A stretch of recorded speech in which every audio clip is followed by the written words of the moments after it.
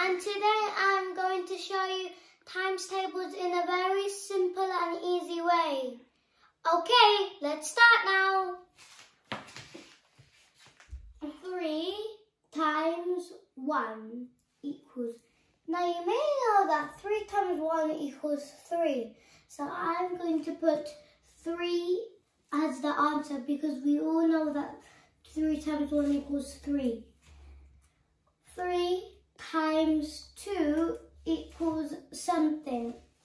I'm going to show you the number line method.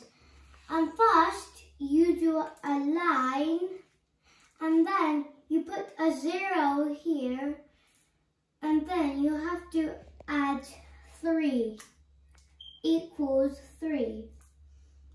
Now, um, the second number tells you how many jumps you have to do and I have to do two jumps. So I will do one more jump. Add three equals six. And the answer is six.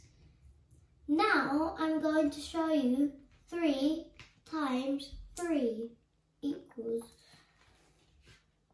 And now um, I can leave this here because I have to do one more jump to add six, add three.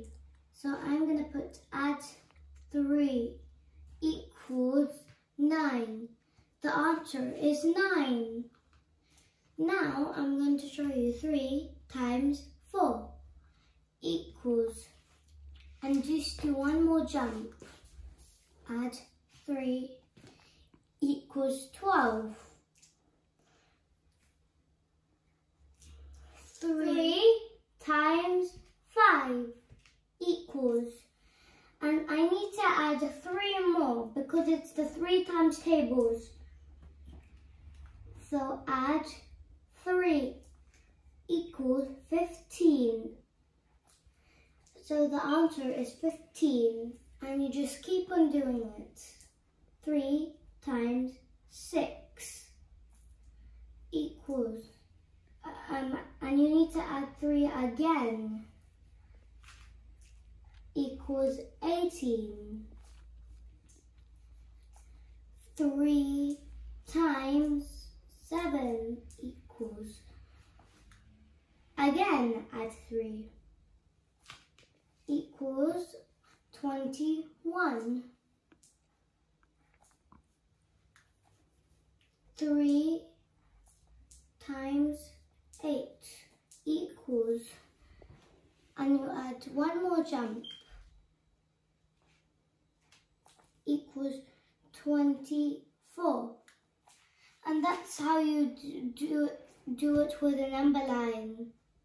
3 times 9 equals, and, and, do, and do another jump equals 27.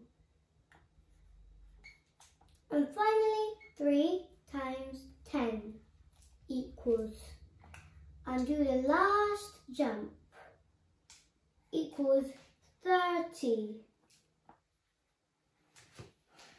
This is how you do the three times tables on a number line. And if you do any times tables with a number line, you would know the answer. And, and you could try this at home.